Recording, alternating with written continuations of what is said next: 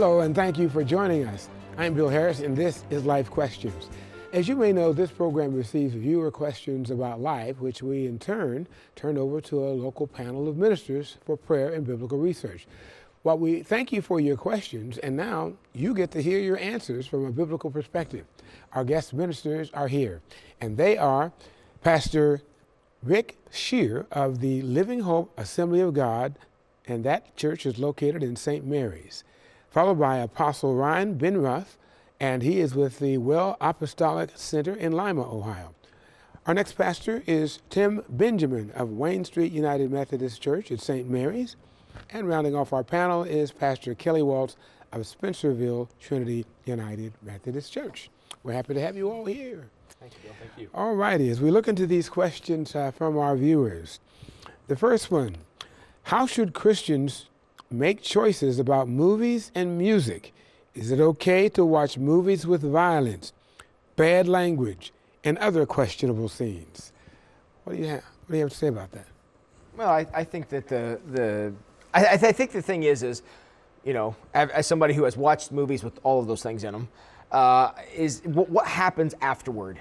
I mean, can, can, you leave the movie at the theater or can you leave it on the DVD? If it's something that follows you around and now you're thinking about it and it's it, it, you know, it's like this, this particularly violent scene or this line with the foul language stuck with me. If, if that's what's sticking with you in it, probably it's a place you shouldn't have been. Mm-hmm. However, if it's a story where you say somebody triumphed and overcame, and I'm inspired by that, and, and, and I, you know, I saw the story and I enjoyed the story, or it was a you know special effects spectacle and I enjoyed it. Now, I don't know that that's such a problem. It's, it's what sticks with you afterward. Is it the parts that are not good, or is it the parts that were inspiring? Where, where did that go? And I, and I think that that's what it is. If you're going to see it because I like to, you know, see people use bad language, it's probably not a good motive to go see a movie under any circumstances. If you're looking forward to that sex scenes, like. Yeah.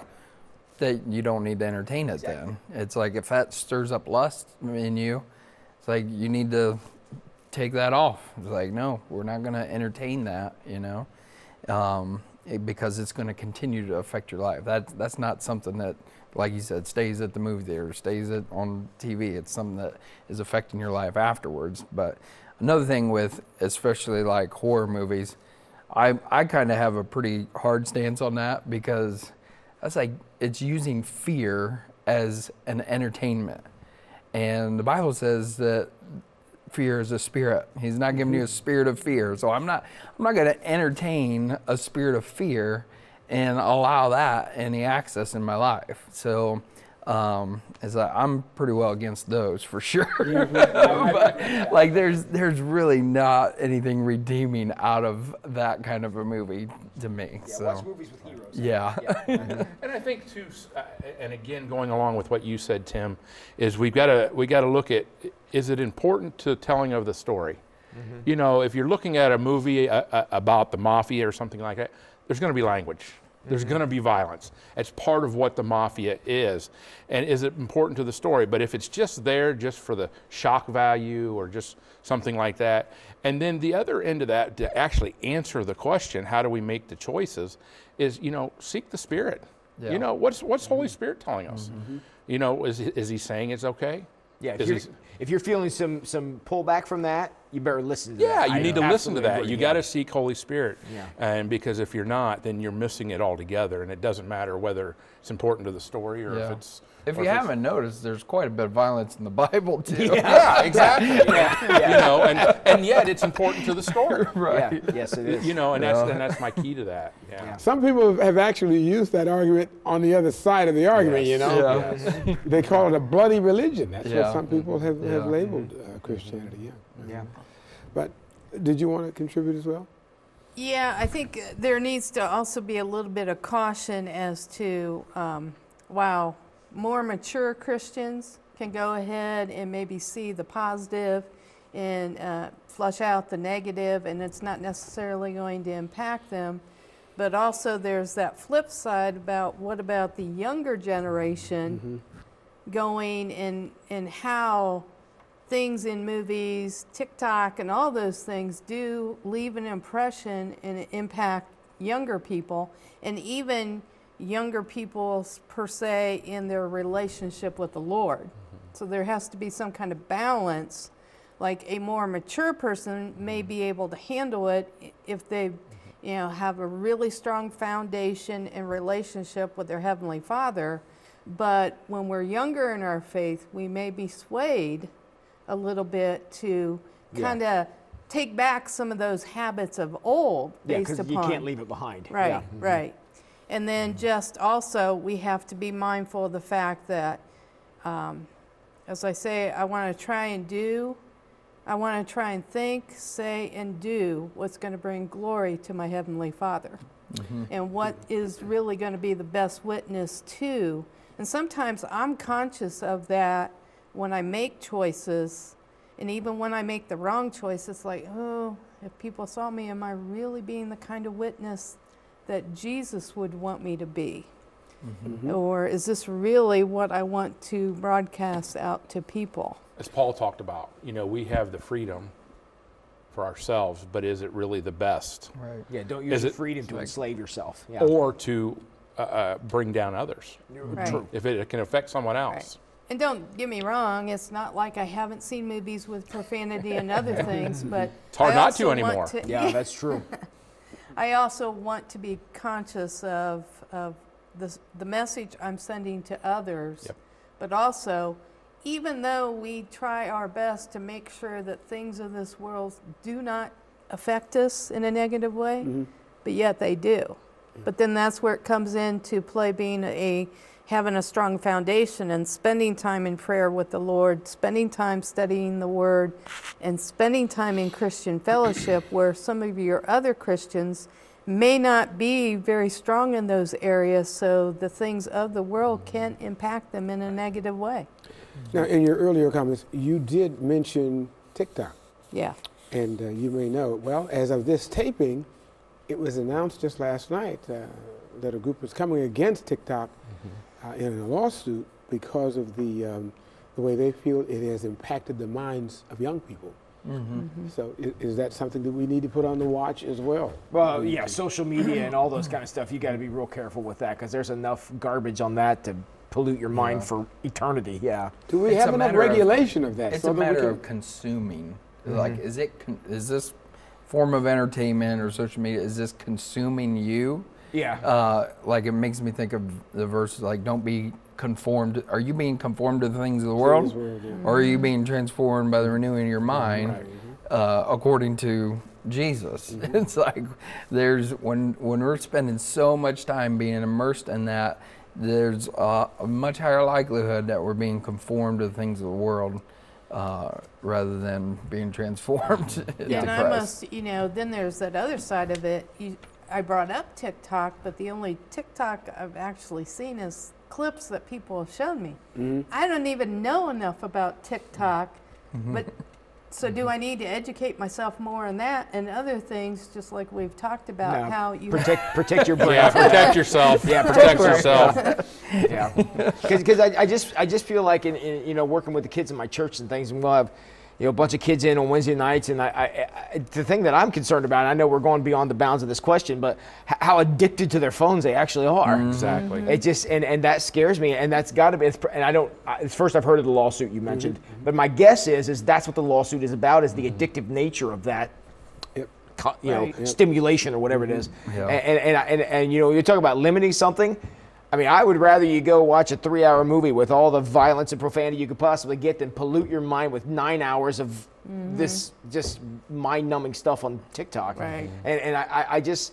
I just feel like we, we haven't given that the respect. We haven't protected ourselves, and we certainly haven't protected our kids from it, and that's a problem. And I think mm-hmm. that's where, as you know, the family unit, your parents, they need to make sure that they're doing everything they can to provide their kids with a strong foundation. Yeah, because you got to offset that somehow. Yeah. Absolutely. Mm-hmm.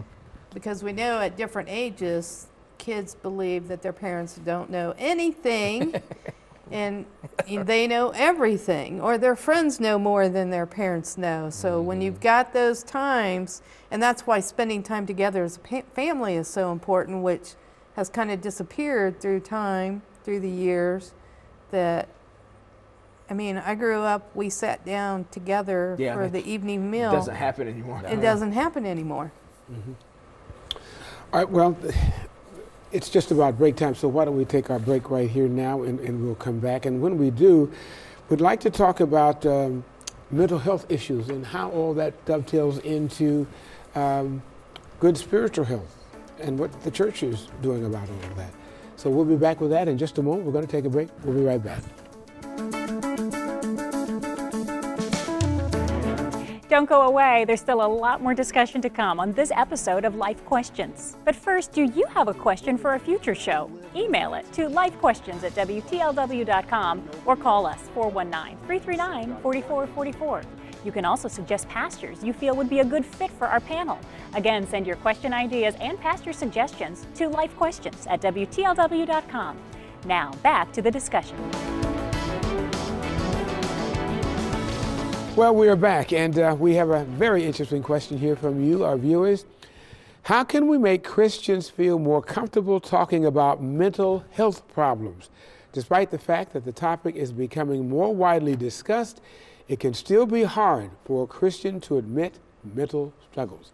Yeah. And that's, that's Well, an issue that's dear to your Well, heart. it's, it's, it's a perfect segue from what we just ended before with is, uh, you know, where are all these mental health issues even coming from?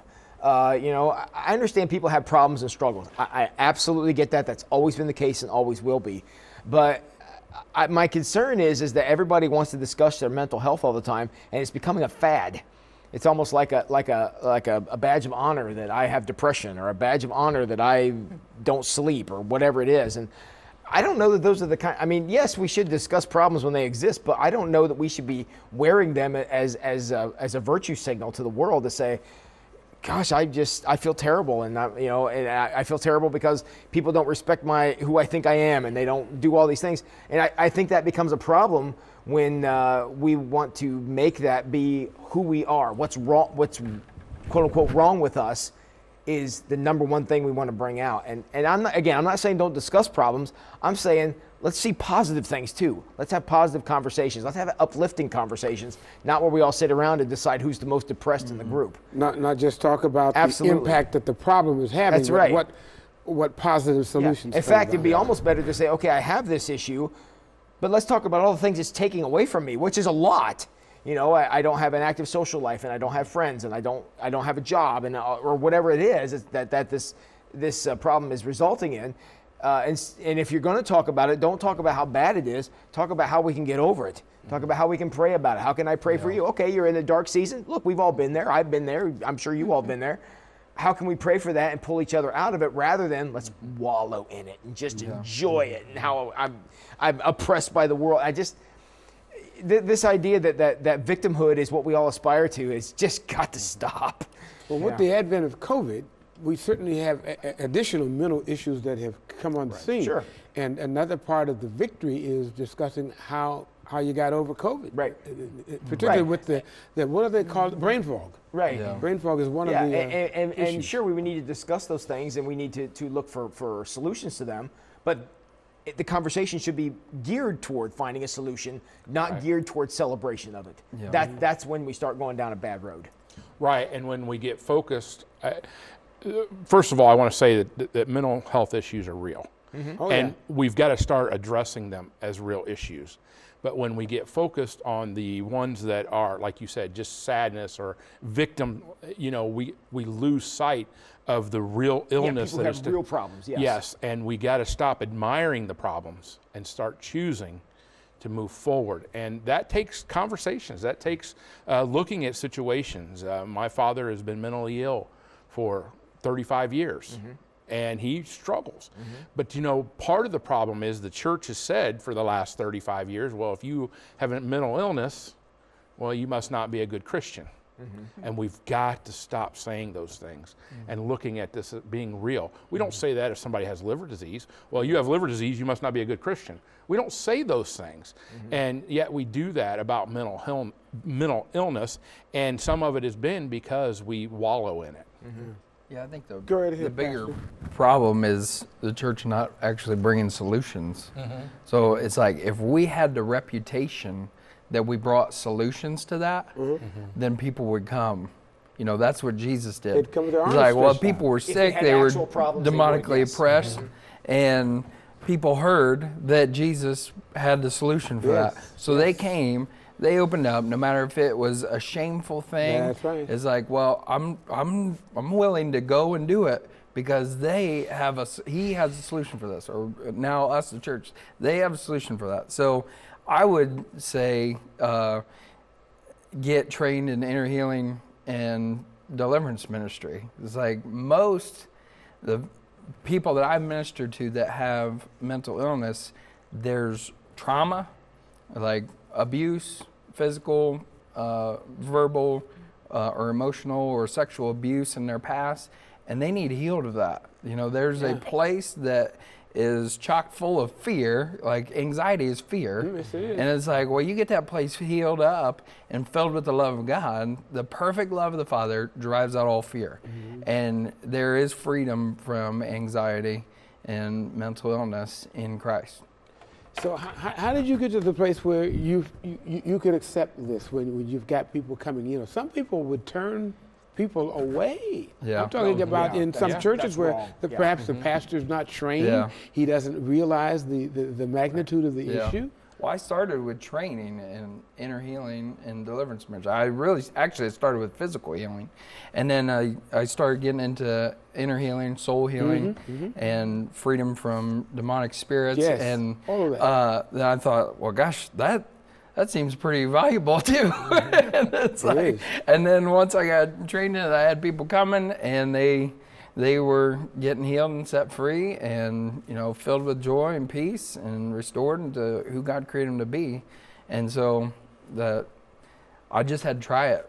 I mean i didn't really have people in my area that were doing that kind of thing but i, I had trained i had a basis and then i was like well i'm stepping into it with you jesus and you can you can do your job i'll do my job right, right. And, and, and the fascinating thing about what you're sharing is, is you, you got in it to actually make it better. Yeah. And then that's Exactly. that's what I hear you saying too, Rick. Yes. I- i- Is we get it to get it better. I'm afraid a lot of people are getting into it just to celebrate it. Yeah. Yes. That that's what I, mm-hmm. I have witnessed That's more what times than I society's care to. Absolutely. You know, when you Yeah. look at Oh, you called it wallowing in it. Yeah, yeah, and just just let it pour over me and just celebrate it. And, admiring the problem Right. rather than fixing it. right. And, and, and to me, to me, you're not helping anybody by feeding into their issues, whatever the issues are. Mm-hmm. You're not helping them. Nope.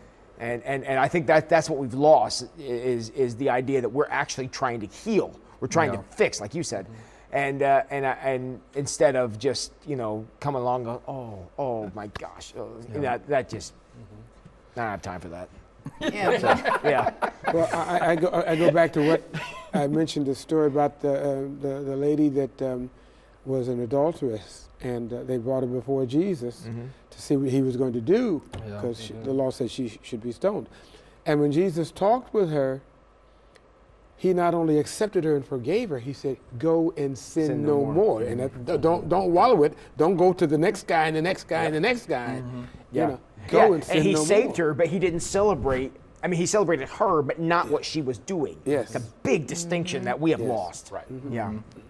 Interesting. Interesting. Well, that's because it's all about let's love other people, let's love other Well, it's people. just narcissism. Yeah. And I've dealt with situations where um, I think they've experienced the sympathy that they receive from other people when they are wallowing or down low, and they're not willing to take the necessary steps to really be pulled out.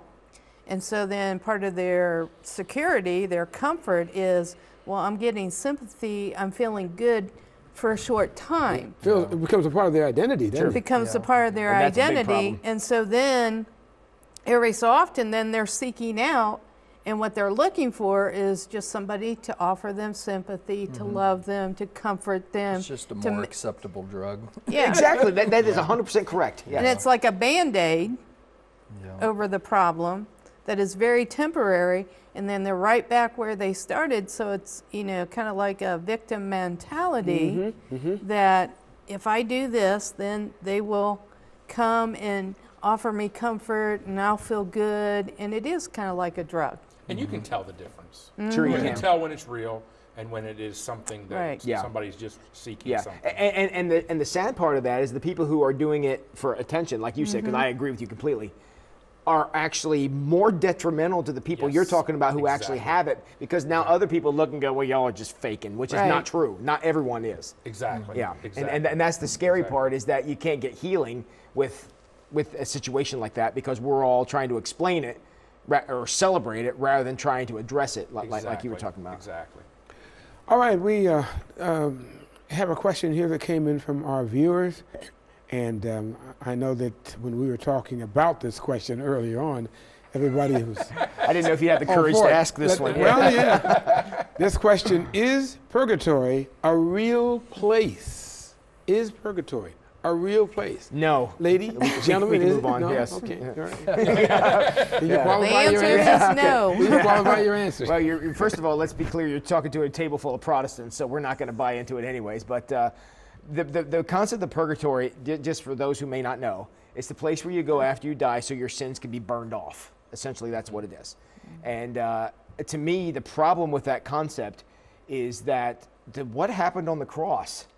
My understanding is that happened there. And if it didn't happen there, then why did it happen? Why did the cross happen at all? You know, if, if sins if sins weren't forgiven, if God's grace wasn't a real thing at that point, then what's purgatory going to do about it? Th- that, that's where I struggle. I know there, uh, our Catholic sisters and brothers would take issue with that, and I, I respect that. But but as a Protestant, that's the part I struggle with is, you know, i- i- if if there is this place where sin can be burned off, then why did we need Jesus in the 1st place? Mm-hmm. It's mm-hmm. still man trying to fix a man problem Correct. rather than God fixing man's problem. Yeah. Mm-hmm. Yeah, it turns it back into a works Yeah. based salvation, Because they're burned off based on prayers of the families and friends. which is what Jesus got free, freed us from. You know, Exactly, it's like you don't have to to follow the law in order to receive salvation. It's like uh, you have to follow Jesus, and you know the word says that He's clothed us with righteousness. I mean, it even says that you know He died that we might be the righteousness of God. It's like, well, He has made us righteous. He's washed us white as snow. How much better of a done deal does this need Yeah, to be? sin is there to burn off? yeah. So it's it's really you know there's this aspect of like well we're we're not living perfect but we are we are made perfect by him. And now our our walk with with christ here on earth is is uh, moving into that perfection. It's like you know i'm going to actually walk out the righteousness that jesus gave me and he clothed me with and um, it's but it's not something that we got to earn anymore uh, nobody's got to pay our way, or nobody's got to pray enough for us. did. Yeah, Yeah, you can't. Jesus already, he's it's done. That's why he said it is finished. Mm-hmm. You know, he atoned for your sins. You don't have to atone for them anymore. Yeah. Very good. And it's all about living in, in relationship with the God that provides that kind of grace. And Yeah. that, that, that's where everything gets changed. And a lot of these things date back, if you look at some of the Catholic history, a lot of these things date back to them trying to be apologetic to the unsaved. And so mm-hmm. they changed their beliefs rather than and rather than trying to change the people to believe what Christ. You know, you look at you look at Peter. You know, he's the first pope and yet he was married. Mm-hmm. Mm-hmm. How about that? I Yeah. never thought of it that way. Yeah, yeah. So you know, it, it, it became a point of, and I'm not against apologetics. Please don't hear that, but I think we've got to be careful that apologetics doesn't change us, uh, because then that's the kind of things that get created, uh, and the questions that happen, and the burdens that people have. I mean, we've placed burdens on people, thinking that they have to pray so many prayers for their loved one to get to heaven eventually, and that's just not the case. Christ did it, or he didn't. Yeah, Christ was real. Yeah. Christ lived sinless. Christ was born of a virgin. Christ died. Christ was raised on the third day. Christ returned to heaven, or he didn't. And that, you know, we can't add to it. Very well put. Okay. Uh, another question uh, from our viewers. How do I discern between God's leading and my own thoughts and feelings? This is a person who wants to do the right thing. They're, they're they're seeking God. They're seeking God for His counsel and the like. They want to be sure that, that, that what they're sensing is not being tainted by their own feelings or their own desires or their own preferences. Yeah. There- There's a very simple test that you can run to determine that is that is whatever that inspiration is, whatever that voice, whatever whatever it is that you're following, do you ever disagree with it? Because if you disagree with it, then it's not you. But however, if that voice is always, yeah, that's exactly what I want to do, that's probably not God. Sounds like eventually He's going to push you outside of your comfort zone. So- Sounds almost Yes. like my, what my stepfather, he was a state representative for 26 years in the Ohio legislature. And he said, Well, I talk to myself all the time because I get better answers. Yeah, yeah. that's exactly right. That's right. God, God has a tendency of asking for big things, and uh, and uh, if, God, if that vo- if that inspiration never inspires you to something greater than yourself, then it is yourself. Yeah. It's not God. If it doesn't Yeah. change I you, uh, Right. agree Yeah. with that. There, Yeah. One time I was sitting at a restaurant and I saw these couple over here, and I heard the Lord say, "Give them fifty dollars and then pray for them." And I'm like, "Well, I know that's not for me. That's one I didn't come I up kind with. like Exactly. my fifty dollars." which also goes back to the, the movie and the music question too. You know, some of it is what we put in is what's going to come out. Yeah. You know, and if, it, if what we're putting in isn't of God, then things of God aren't going to come out. Yeah. yeah, spending Wow. time with mm-hmm. Him. Yep. It's like he, Jesus says, "My sheep will hear my know my voice." So here you got to spend time hearing. When you know the truth, when you know the the author of the word, it's like, well, I know when he's saying something that that, that sounds like like mm-hmm. the God, like God I know. Well, and you're not in this alone, and it's, you Yeah. know, is it really from God or is it not from God? Well, let me go to God in prayer. Mm-hmm. Let me study God's word, but truly be open Yeah. to what is going to be revealed to you. And Christian fellowship, getting together with those Christians that that are going to be able to you can bounce ideas off of Yeah. and and then sometimes just give it time and ask God for mm-hmm. another sign to confirm mm-hmm. Mm-hmm. what direction you think He wants you to go. Yeah. And um, but you know you're not alone in making these decisions.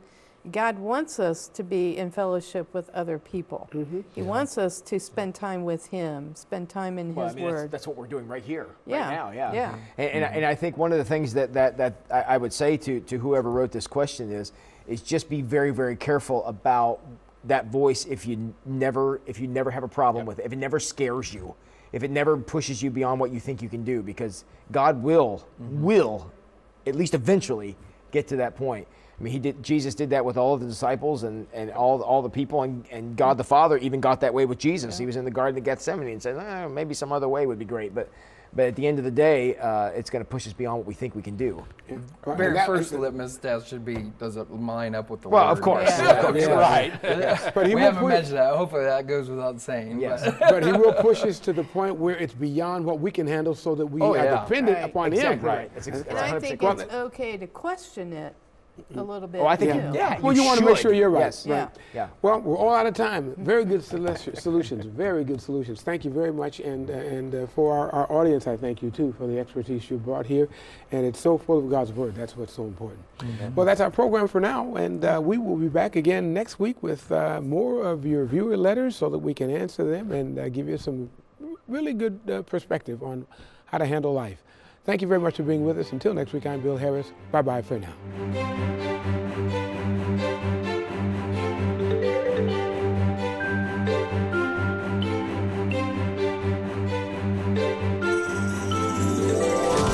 You've been watching TV44's newest locally produced program, Life Questions. Now we'd like your feedback.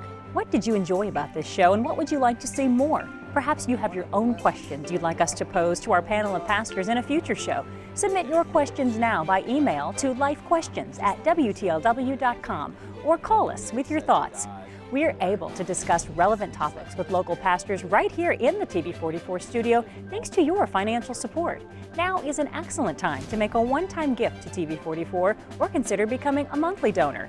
100% of your donation stays right here at TV44 and is used to spread the family friendly, life changing message of Jesus Christ. Secure donations can be made online at WTLW.com, by phone, by mail, or in person.